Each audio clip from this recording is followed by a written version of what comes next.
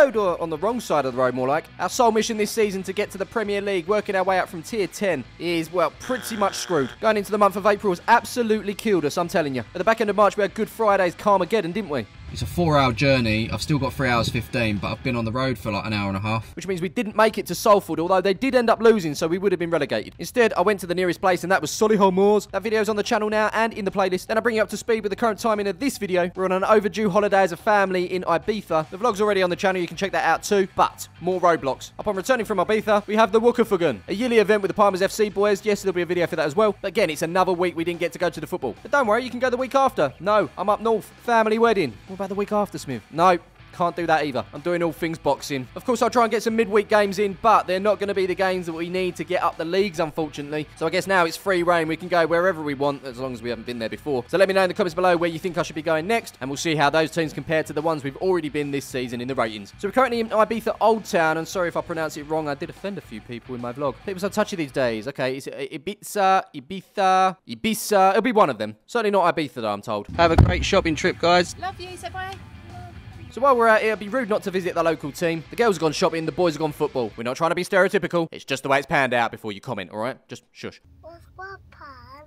Where's your pants? Yeah. I don't know, mate. I've, I've, you got a nappy on anyway, so you'll be fine. So parking anywhere near the stadium was quite tough, so uh, we parked down here at the bottom of a hill. Zach can't hack it, can you? Can't hack it, so I've got to pick you up and hike all the way up, haven't we? So we're going to get there, aren't we?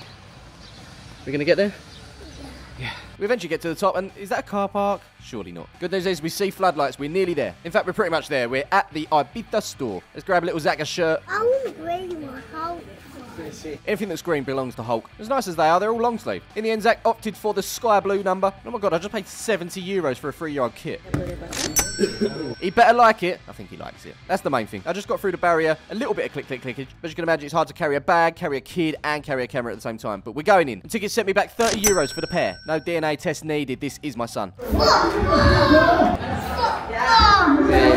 So I sense a little bit of liveliness in here. Oh, wow. Con el número 16, ¡joven! After three few minutes of trying to find the seat, we found the seat. Zach's just taken a couple of minutes to take it all in. Who let the Eurovision Song Contest in? Enough of that. We should probably find out what the crack is with this team. Its name, Union Deportivo Ibiza. It was founded 2015. Young pups. At the time of recording, they're pushing for promotion in the Primera Federación Group 2, whilst their opponents Melilla sit down in 18th. Today's venue is Can Misses, or Cam Miss. Of course, I pronounced it wrong. But it has a total capacity of 6,000. We normally talk about heated seats, but not needed out here. Just to let you know, the Eurovision Song Contest continues.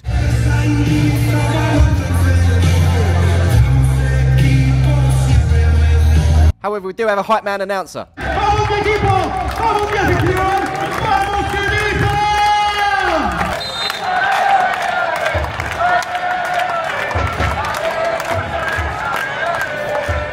Because I'm a proper geek and I love the English football ladder, let's see how the Spanish one works and how far away this team is from playing with the likes of Real Madrid and Barcelona. Well, those sides, as you know, sit in La Liga, but if unfortunately you drop out of that, you'll find yourselves in La Liga 2, Segunda Division. Now, those two leagues are the only two fully professional leagues in the country. Going down from that, we have a mix of professional and semi-professional clubs. It's the Primera Federación, 40 clubs divided into two groups. I'm assuming it's regionalised, and it's two clubs from each group that get the opportunity to head up to the second division. And as I say, it's Group 2 that Ibiza sit right now. Under that, it really does spread out into the very depths of non-league football in Spain. You've got the Segunda Federación, that's five groups worth. Then the Tercera Federación, that's 18 groups made up of 324 clubs. And after that, regional divisions dropping down to the 10th tier. Ibiza have already been in the second division. They'll certainly want to make their way back ASAP. And if they do, they need to sort out the corner flag. The girth on that is, well, a chipolata at best. So the first attack of the game is in favour of the home side. There you go. Oh! It's not long before Melilla are down the other end having to go themselves. It was interesting when buying these tickets because uh, all of the seats online were pretty much taken apart from our ones. There's quite a few empty seats in this gaff. Lino, watch, what boots was he wearing? I'm fairly certain it's Adidas, Copas, World Cup, one of them. Oh, but hang on. Get up. Yep. Oh! Oh, I've lost my son. But more importantly, chance. It's a good ball. Oh, wow. Oh, thank God for that. Found him. And just in time, too. There you go.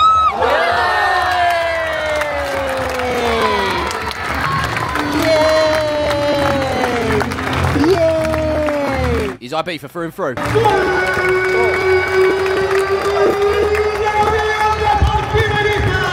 But lads, don't celebrate too hard. Oh my god. Oh god. Zach's about to witness his first ever penalty a game. This coming seconds from kickoff, I promise you. We could be looking at two goals in a minute.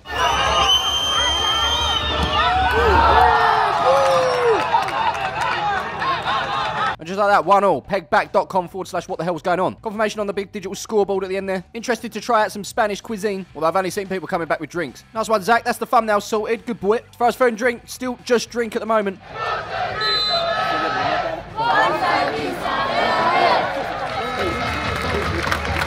Zach's just decided to kick his sandals off. So just as I tried to reason with a three-year-old, Melilla go 2-1 up.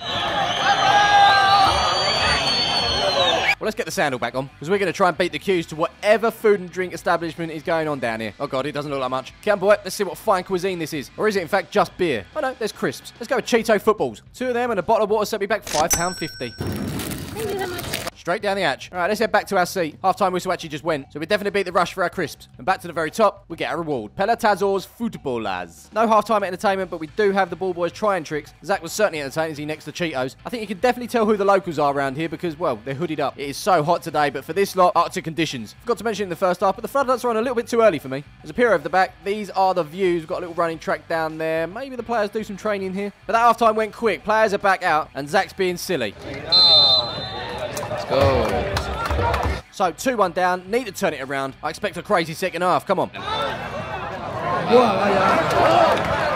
Brilliant. Following that, got the first of many injuries. I sense time wasting. Where's his foot? He's fallen over, isn't he?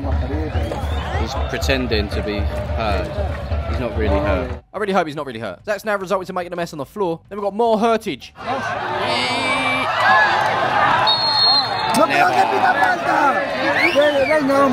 I mean, if we continue to attack as they look to get back into this one. Yes. Ah. And Zach, surprisingly, is loving his cheesy water. And persistence is going to pay off.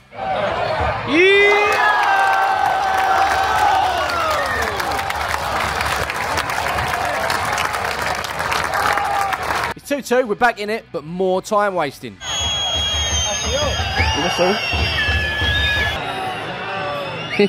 Reminds me of my visit to Barcelona. Whistles for days.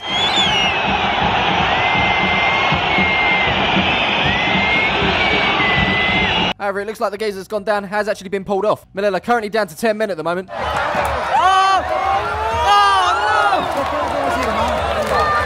I mean, you've got to be netting them, Isaac. We've got this corner. Yep. Oh. Fizz, fizz. Ah, Unlucky. And I don't know how, but it's resulted in another injury.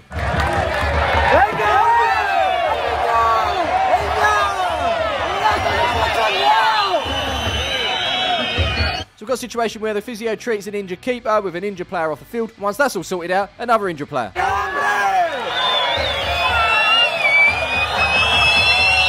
Play does eventually carry on as Ibiza come forward again. They're looking for the winner. Yep.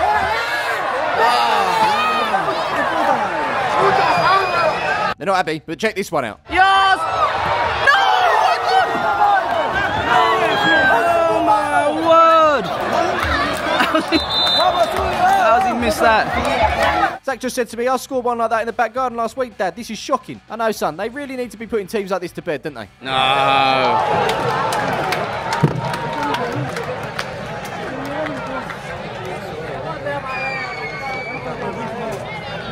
3 2 down. I can't, can't believe it. They really do need to pull their finger out. We did not come here for a loss, did we, Zach? There's still time left. Good chance here as well.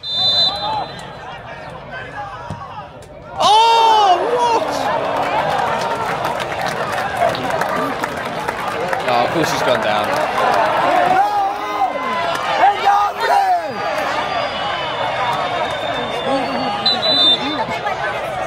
Keeper's just pulled off a worldie, but he's pretending to be injured. We know he's game.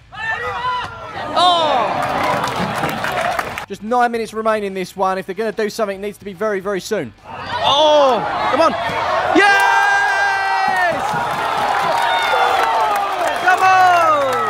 On! Yellow! Gola, gola, gola. Despite all the stoppages, it's been a fantastic second half. But my God, it didn't stop there, did it? Yes, here we go. Yes! Yes!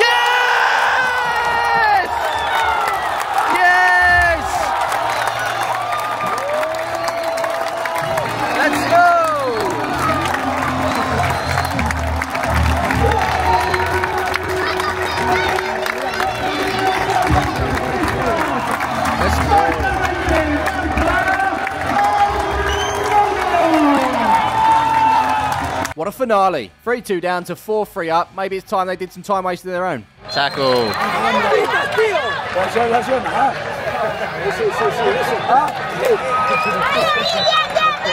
Miguel's got a big one. Pass it on. And I think, might be wrong, but I think that might be time.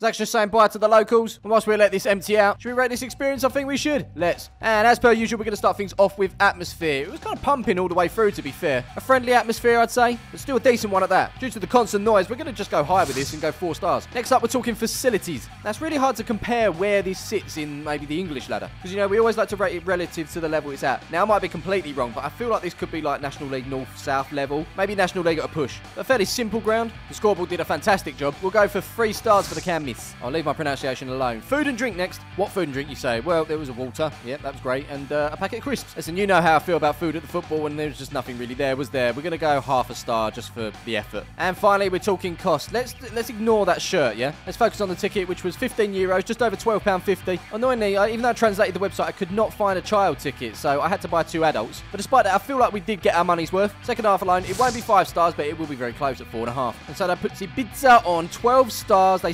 themselves in 13th between Bridport and Hampton and Richmond. If you enjoyed this one, make sure you check out the On The Road playlist. Over 100 videos in there, hours of binge-worthy content. Enjoy.